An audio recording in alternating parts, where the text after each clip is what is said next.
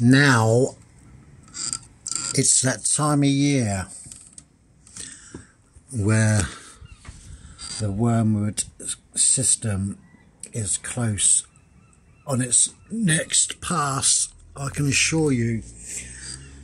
Um, the videos I will be posting over the next um, couple of weeks. I mean if you notice I mean for the south of the UK um, look at the colour of the skies. It's not normal. Um, this is all geo-engineered garbage.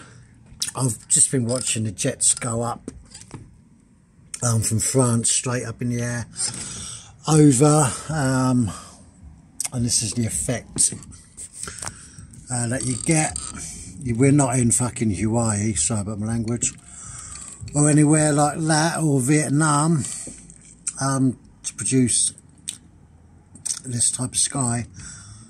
It's all fake but um, the reason being I was just looking out um, for the moon and I was just like where is it? And I can just see him poking poking up there over the thing over the horizon the hills. But I'm going to keep a, an eye out um, I've got a feeling in a couple of hours there's going to be some kind of show. Um, it's the same pattern. Look at that. Look at the colours pink, red. This is all geo-engineering being done unless the colours are from the wormwood system. But these skies are showing all around the world.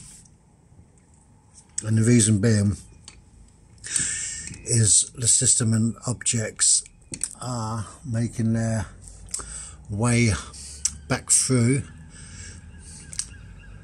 it's part of the solar system passing earth and it gets closer every time and it's always i well, saying this a couple of months ago, there's no real point in filming um, for the system because simply it's on a different path.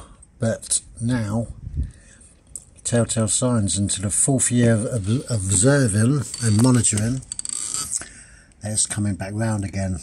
So, um, like I say, some of the things I've been filming there, I think this year and by sort of October, just mark my words what I'm saying, by October, November, especially in the, not so much, um, you notice what I'm saying is uh, the thing of two possible suns setting.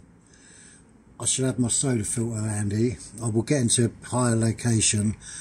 Thing of two possible suns, Um,